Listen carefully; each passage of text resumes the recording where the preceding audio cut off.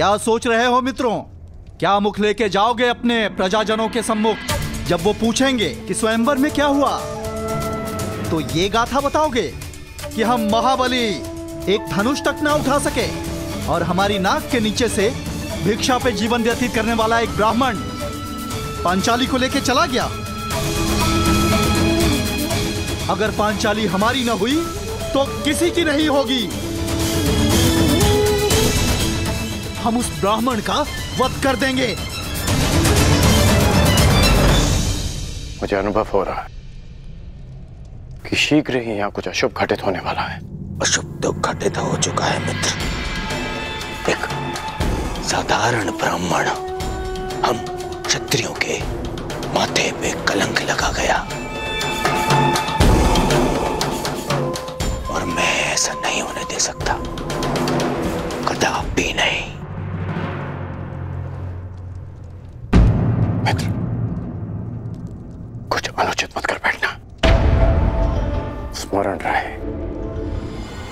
ब्राह्मण युवक ने परीक्षा में सफल होकर द्रौपदी का वर्ण किया।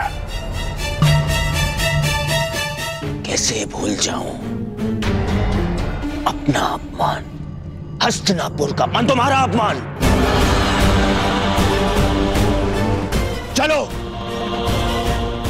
क्षत्रिय वीरों हो तो अपने माथे का कलंक। चलो।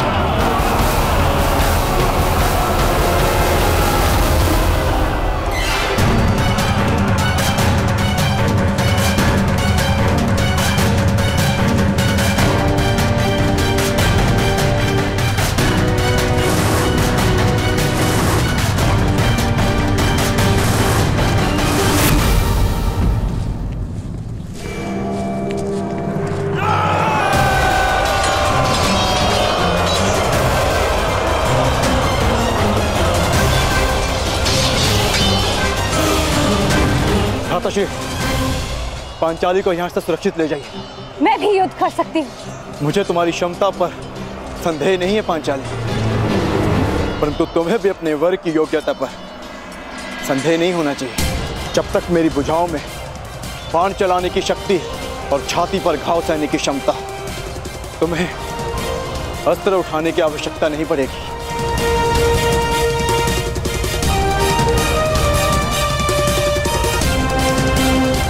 अंगराज नियति सबको दूसरा अवसर नहीं देती। परंतु तुम्हें दूसरा अवसर मिला है। चयन करने में भूल मत कर बैठना।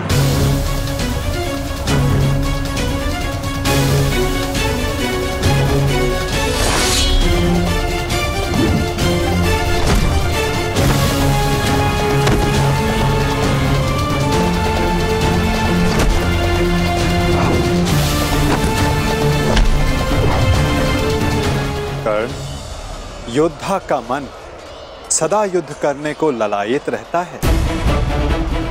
परंतु जैसे मैंने जरासंध से कहा था कि योद्धा वही होता है जो जब तक हो सके युद्ध को टाले। आपने एक और बात कही थी, वासुदेव, कि हम सब नियति से बंधे हैं। तो युद्ध होना है तो होगा। हाँ कारण अवश्य भिन्न हो सकते हैं। कभी तारण तो कभी शंका का निवारण।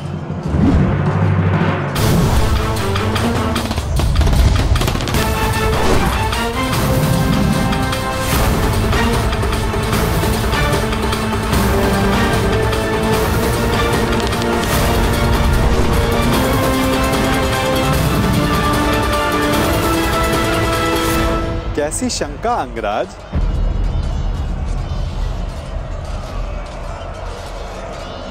आप तो मेरा मन पढ़ सकते हैं ना, वासुदेव। तो बताइए, कि जो मेरे मन में चल रहा है,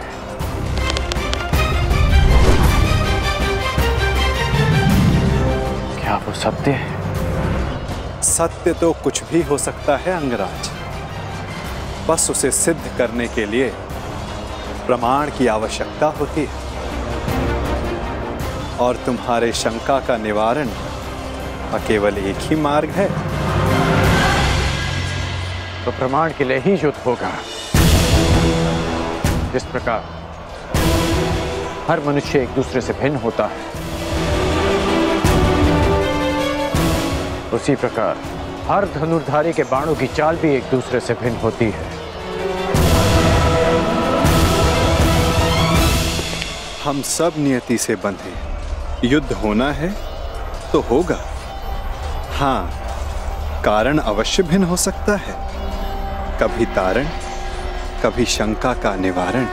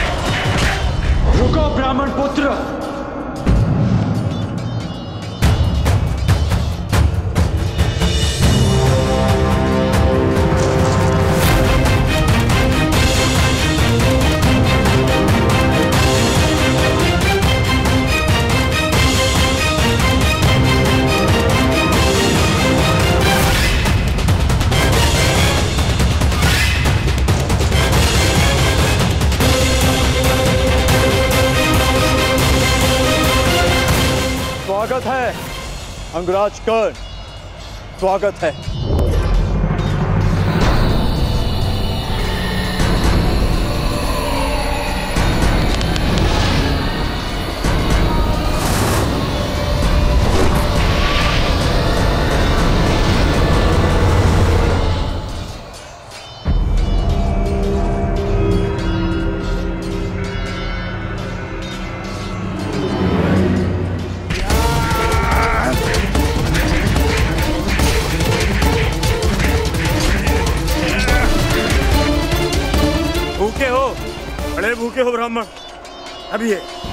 वृक्ष उखाड़ रहे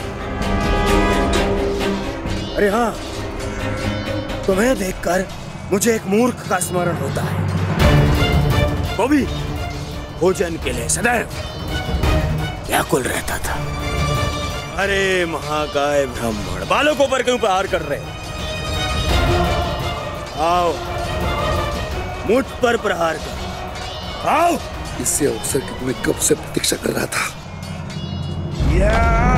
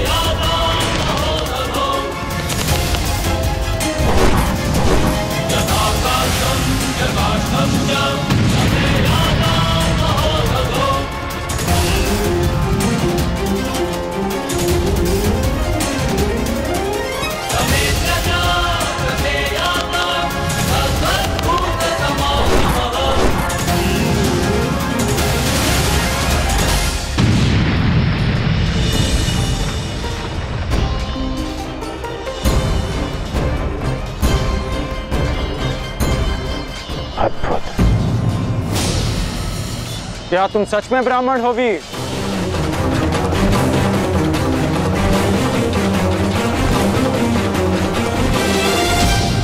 सोच लो कभी कभी असत्य वचन का बहुत भारी मूल्य चुकाना पड़ सकता है। अंगराज युद्ध में वाणी से नहीं। धनुष से काम लो। अन्यथा यही तुम्हारे अंतिम शब्द होंगे।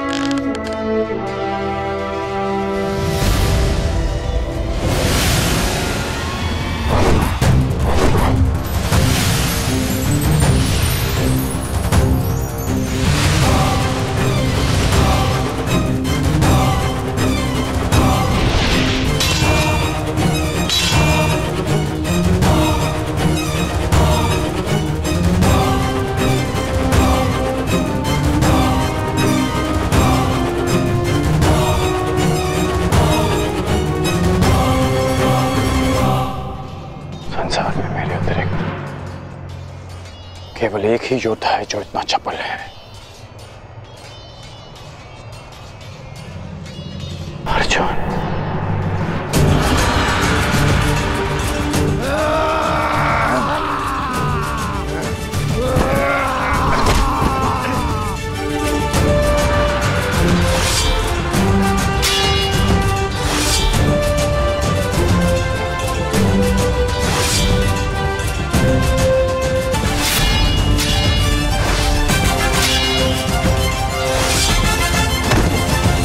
पांडव लाक्षाग्रह से जीवित बच निकले।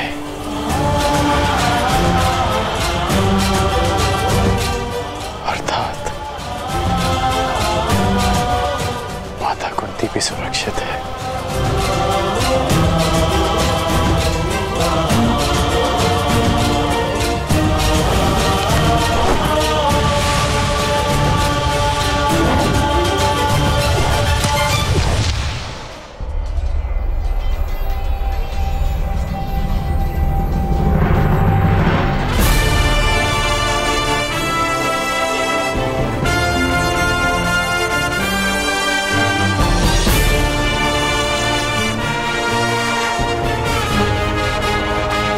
मैं समझ गया हूँ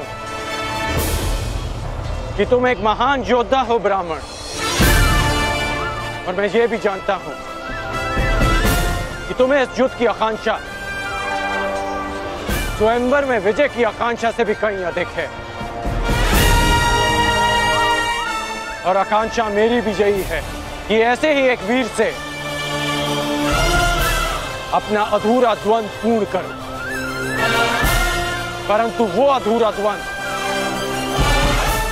युद्ध भूमि में पूर्ण होगा। किसी अभिमानी के स्वयंवर में नहीं। लंका का निवारण हो गया।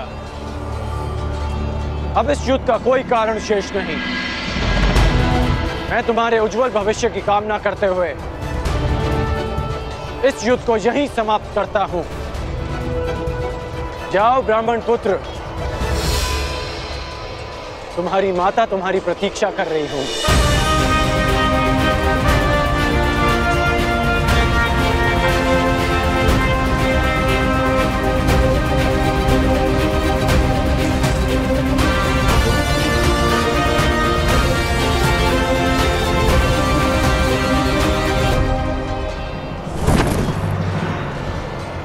जाओ मित्र। ये युद्ध यहीं समाप्त करो मित्र। विजेता को अपनी स्वयंवर आदर से ले जाने दो मित्र। नहीं मित्र। हम इन्हें मित्रों में वाद परिवाद नहीं होता। ये ब्राह्मण अपने उपहार का अधिकारी है।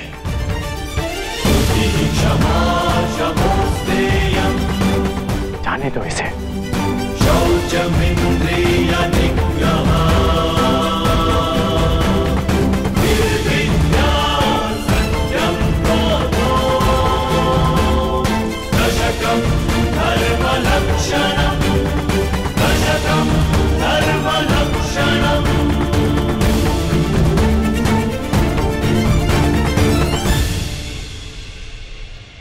कुंती और पांडव जीवित हैं। मेरे मन से एक बोझ उतर गया। अन्यथा, लाक्षाग्रह की वो अग्नि मेरे मन को सदैव जलाती रहती।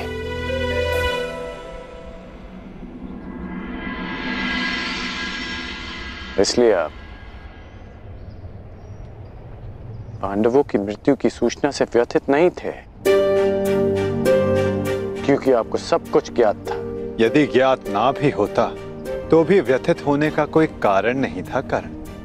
अब तो सत्य स्वीकार्य केशव। अब समझ आया आपका वो कथन कि एक खेल प्रारंभ होने जा रहा है वो खेल जिसका मैं भी एक पात्र हूँ।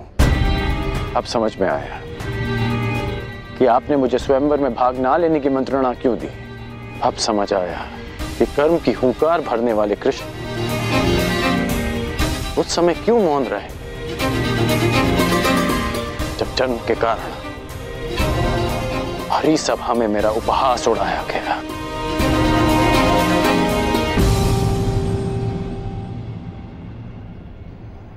अर्जुन के लिए ही ना नटवर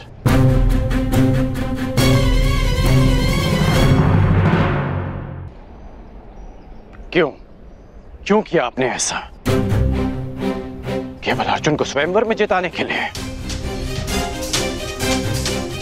इसलिए आपने ऐसी परीक्षा रखी जो अर्जुन के पक्ष में हो, ताकि वो पंचाली का भंग कर सके। अर्जुन के लिए इतना झुकाव क्यों? उसके लिए मेरा अपमान क्यों? इतना बड़ा खेल क्यों? इतना पक्षपात क्यों? क्यों वासुदेव? क्या तुम ये कह रहे हो कि मैं पक्षपाती हूँ मित्र? क्यों? क्या आप नहीं हैं? नहीं कर। मैं अर्जुन के उतना ही पक्ष में हूँ जितना तुम्हारे पक्ष में। सत्य कहूँ तो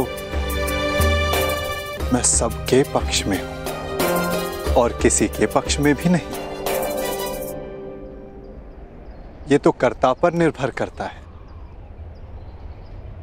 कि वो कौन सा पक्ष चुनता है मित्र। आप कुछ भी कहें परंतु मुझे ज्ञात है कि ये खेल आप ही ने रचा है। ठीक है। यदि तुम ऐसा मानते हो तो क्या ये नहीं जानना चाहोगे कि मैंने ये सब कैसे किया? नहीं। मैं केवल ये जानना चाहूँगा कि आपने ये क्यों किया? प्रश्न बड़ा विकट है कर्ण। यदि विस्तार से इसका उत्तर दिया तो सुनने में तुम्हारा जीवन छोटा पड़ जाएगा। परंतु तुम्हारे शंका के निवारण के लिए मैं ऐसे संक्षिप्त में बताता हूँ।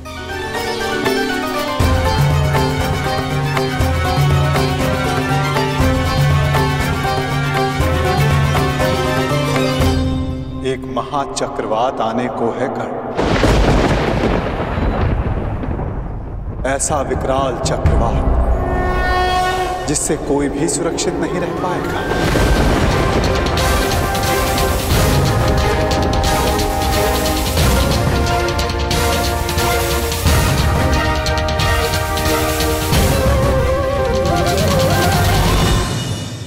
For more updates, subscribe to our channel, click the show links and enjoy watching the videos.